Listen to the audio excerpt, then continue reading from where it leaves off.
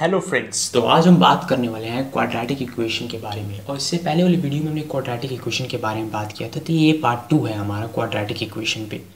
तो quadratic equation की जो पहले वाला वीडियो था, उसमें हमने ये समझा था कि क्वाड्रेटिक इक्वेशन है क्या। तो बेसिकली थोड़ा सा थिक कर लेते तो क्वाड्रेटिक इक्वेशन क्वाड्रेटिक इक्वेशन है क्या?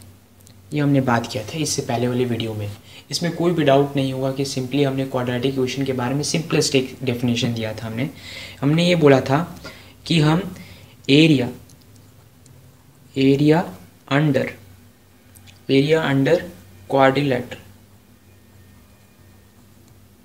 quadrilateral को हम क्या बोलेंगे? हम बोलेंगे उसे क्वाड्रेटिक इक्वेशन तो क्वाड्रेटिक इक्वेशन बेसिकली क्या है? क्वाड्रेटिक इक्वेशन बेसिकली क्या है? क्वाड्रेटिक इक्वेशन है हमारा basically area under the quadrilateral तो वो कंसेप्ट था। उस कंसेप्ट में हमने सिंपलेस्ट एक क्वाड्रेटिक इक्वेशन का डेरिवेशन किया, जो सिंपलेस्ट क्वाड्रेटिक इक्वेशन हमने पता लगाया कि एक्स स्क्वायर होता है। सही है, बिल्कुल बात बिल्कुल सही है। हमें समझ आ गया कि क्वाड्रेटिक इक्वेशन सिंपलेस्ट कौन सा है? एक्स स्क्वायर ठीक है। पर जो मैंने एक कंसेप्ट बताया समझने के लिए कि हम क्वाड्रेटिक इक्वेशन को क्या माने?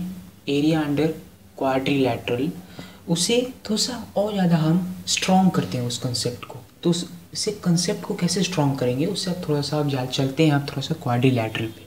तो क्वाड्रिलेटरल पे चलते हैं तो यहाँ पे हम बात करने वाले हैं बेसिकली तो एक क्वाड्रिलेटरल बनाते हैं तो एक स्क्वायर बनाते हैं पहले। तो ये एक्स एक्स लेंथ वाला स्क्वायर है। तो एक्स लेंथ का जो स्क्वायर है तो इसका एरिया कितना होगा? इसका एरिया कितना होगा? इसका एरिया होगा एक्स स्क्वायर रुको दो मिनट। एक्स स्क्वायर मैं ऐसे लिखता हूँ। एक्स स्क्वायर इसका एरिया होगा। समझ आ रहा है? बिल्कुल मज़ा आ रहा है, बिल्कुल। कि इसका एरिया कितना है? X square side square simplest इसमें कोई बात है कोई? चलो, आगे बढ़ते हैं फिर। तो मैं क्या इधर बोल रहा हूँ? अब यहाँ पे जो है बात बताने वाला हूँ ना, वो कान, पूरा कान निकाल लो किसी तरीके से भी। बात बिल्कुल ऐसे। ऐसे करके सुनना है। बहुत ज़्यादा इंपॉर्टेंट बात मैं बोलने वाला हूँ। क्या? कि अगर मैं बोलूँ कि इस साइड से मैं यहाँ पे, इस साइड इस साइड में टू यूनिट्स टू यूनिट्स मतलब टू यूनिट्स टू यूनिट्स इस तरह बढ़ा दूँ। हाँ?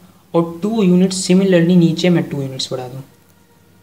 नीचे भी क्या कर दूँ? नीचे भी टू यूनिट्स बढ़ा दूँ।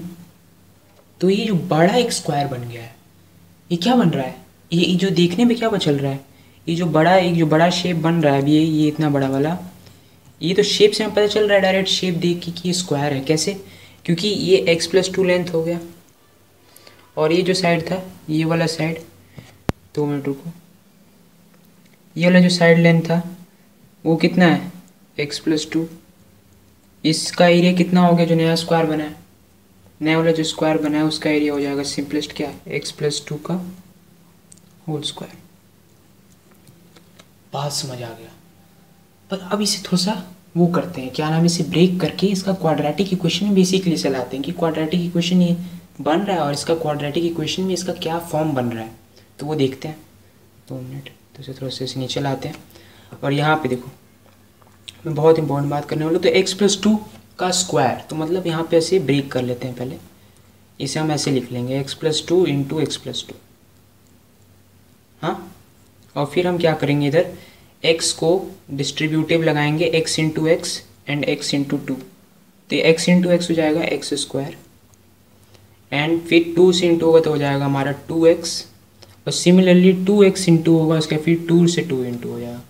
तो basically two x plus four अभी जो क्वाड्रेटिक इक्वेशन बनाया नया वो है x square plus four x plus four देखो, समझ आ रहा है? बिल्कुल बहुत सिंपलेस्ट तरीके से बता रहा हूँ मैं। तो इधर जो ये नया इक्वेशन बना है, ये किसके जैसे बन रहा है? A x square plus b x plus c simplest और इसे क्या मैं बोलना चाह रहा हूँ? सिंपली ये पता चल पा रहा है कि ये x square plus b x plus c से डायरेक्ट क्या है? मेल खा रहा है, मेल खा रहा है। क्योंकि हम a x square plus b x plus c के आधार पे क्या बताते हैं कि क्वाड्रेटिक इक्वेशन है? या नहीं? और उसमें सबसे ज़्यादा इंपॉर्टेंट बात क्या है कि ए क्या होना चाहिए? A not equal to zero होना चाहिए और यहाँ पे ए हमारा वन है। ए ज़ीरो नहीं है इधर। तो चलो यहाँ पे पता चला कि बेसिकली कि एक स्क्वायर को जब हम इसमें टूल्स ऐड कर रहे हैं तो वो एक जो नया स्क्वायर बन रहा है, एक जो नया स्क्वायर बन रहा है, उस नए स्क्वायर का एरिया कितना हो जाएगा? एक्स प्लस टू का होल स्क्वायर ठीक है, समझ आ गया। अब मैं क्या बोल रहा हूँ? देखो, एक एक क्वेश्चन जैसा, एक क्वेश्चन जैसा बनाता हूँ। मैं क्या बोल रहा हूँ कि एक स्क्वायर था। एक स्क्वायर था क्वेश्चन बना रहा हूँ मैं। मैं बोलूँगा क्वेश्चन को भी, समझने के लिए तुम लोगों लिए, समझाने के लिए। लिखने वाला नहीं हूँ। ये एक्स लेंथ का स्क्वायर था। जिसका एरिया कितना हो गया? जिसका एरिया हो गया एक्स स्क्वायर अब मैं क्या बोल रहा हूँ कि जो एक्स स्क्वायर का, जो ये एक्स लेंथ का जो स्क्वायर था। इस स्क्वायर में क्या किया मैंने? दो यूनिट्स वन यूनिट इधर ऐड कर दिया और नीचे वन यूनिट ऐड कर दिया। तो ये जो नया स्क्वायर बन गया एक। हाँ? अब ये जो नया स्क्वायर बना है, ये जो नया स्क्वायर इसका रेशियो निकालो। अब पूछता है क्या कि इसका रेशियो निकालो कि जो नया स्क्वायर बना है और इससे पहले वाला जो स्क्वायर था, उसका रेशियो निकालो कि वो कितना रेशियो होगा, कितना गुना बड़ा है ये। तो ये पता लगाते हैं कैसे। कैसे पता चलेगा? बेसिकली पहले तो ये जो हमारा छोटा वाला जो स्क्वायर है, इसका पहले एरिया निकालना तो इसका एरिया आ जाएगा एक्स स्क्वायर ये हमारे क्या है? Area of small area of small square और दूसरा हमारा क्या है? जो हमारा x प्लस वन यूनिट का हो गया है, x plus one unit x plus one unit का जो बन गया है नया हमारा स्क्वायर उसका एरिया कितना हो जाएगा? x प्लस वन का whole square that is equals to a big बात बिल्कुल ज़बरदस्त ए ए स्मॉल मतलब कि area of small square is x square and area of big square is x plus one का होल स्क्वायर सिंपली बात. और फिर यहाँ पे क्या पूछ लेता है तुम्हें?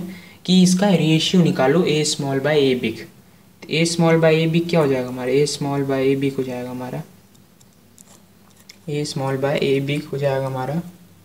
Is equals to x square by x plus one का होल स्क्वायर तो ये हमारा रेशियो आता है। ये ऐसा क्वेश्चन पूछ ले जाता है कि बोल देगा कि आप इसमें क्या करता है वो सब लोग कि पूछ लेगा तुमसे कि रेशियो बताओ। और जो रेशियो निकल रहा है, इस रेशियो पे तुम्हें बोल देगा वो क्या? इस रेशियो पे तुम्हें बोल देगा कि एक्स का कोई वैल्यू दे देगा और फिर बोलेगा कि a small by a big का क्या? फ्रैक्शन वाला रेशियो बताओ। मतलब मैं क्या बोलना चाह रहा हूँ? सिंपलेस्ट मैं इसका एक और एग्ज़ाम्पल आगे कंटिन्यू कर देता हूँ मैं क्वेश्चन को, जो बोलना चाह रहा हूँ मैं, कि फिर इधर क्या कर देते हैं वो सब? फिर बोल देंगे क्या? क्या कर देंगे? ये बहुत टिपिकल क्वेश्चन जाता है ऐसा, बहुत टिपिकल ये समझ नहीं आएगा अगर कोई अच्छे से इसे प्रैक्टिस नहीं करेगा तो। सिंपल बात। तो यहाँ पे देखो क्या हो रहा है। ये जो a small by a big हमारा आ रहा है x square by x plus one का होल स्क्वायर तो ये जो नया स्क्वायर बन रहा है, इसका, ये जो, इसका रेशियो ही निकल गया रेशियो अब मैं इसको बताने वाला हूँ कि यहाँ पे जो एक्स है let x is equals to one अब यहाँ पे क्या बोल दूँगा मैं कि एक्स वन पे a small and a big का वैल्यू निकालो। A small by a big का रेशियो निकालो। तो a small a small by a big is equals to one square क्योंकि एक्स वन है। और यहाँ पे नीचे हो जाएगा वन प्लस वन का whole square. That is one by four तो हमारा रेशियो निकल गया। क्या रेशियो निकला? कि a small by a big is equals to one by four तो ऐसा क्वेश्चन आता है और फिर पूछ लेगा तुमसे कि जब x is equals to one है, हमारा x इक्वल्स टू वन है, जहाँ पे हमें देखने के लिए मिल रहा है, x is equals to one है तो यहाँ पे तुम बताओ कि a स्मॉल से a स्मॉल से ए स्मॉल कितना छोटा है? ए स्मॉल कितना छोटा है ए बिग से? तो ए स्मॉल चार गुना छोटा है। कितना छोटा है? चार गुना छोटा है। कैसे बोल सकता हूँ मैं? क्योंकि ए स्मॉल चार ए स्मॉल लगेंगे तो हमारा एक ए बिग आएगा।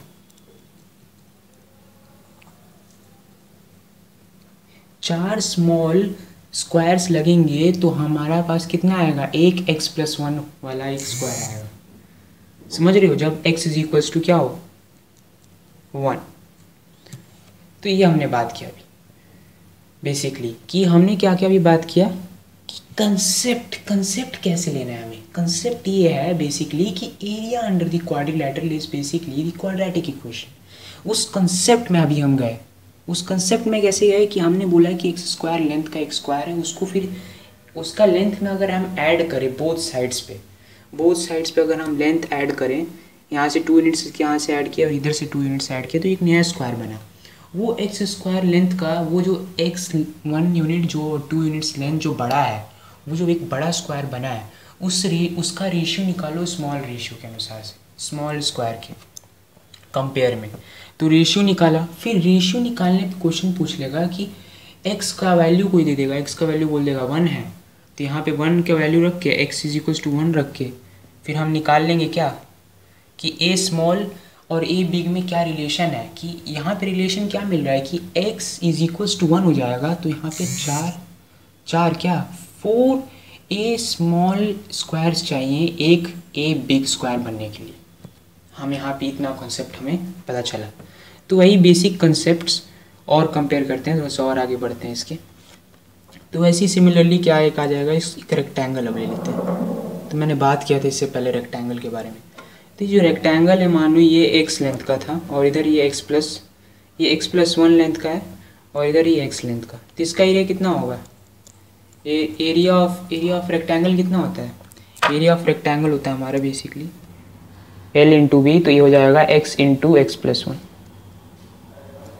that is x square plus x ये हो जाएगा हमारा इसका एरिया इसका जो एरिया है, x plus one x unit का जो इस ये जो रेक्टेंगल बन रहा है, x plus one is equals to length और x हमारा ब्रेथ है। और तो इसका एरिया कितना आ रहा है हमारा, ये जो एरिया है, ये एरिया आ रहा है हमारा एक्स स्क्वायर प्लस एक्स बात समझ आया? ये भी क्या, इसको जब कंपेयर करोगे तो क्या पता चल रहा है? ये किसके किसके इक्वल आ रहा है ये? ये आ रहा है ना अपना? सी यहाँ पे क्या आ रहा है? सी यहाँ पे जो सी जो क्वाड्रेटिक इक्वेशन का जनरल इक्वेशन में होता है। सी वो यहाँ पे ज़ीरो है और यहाँ पे b is equals to one है और a is equals to one है। और कुछ भी बात नहीं इधर।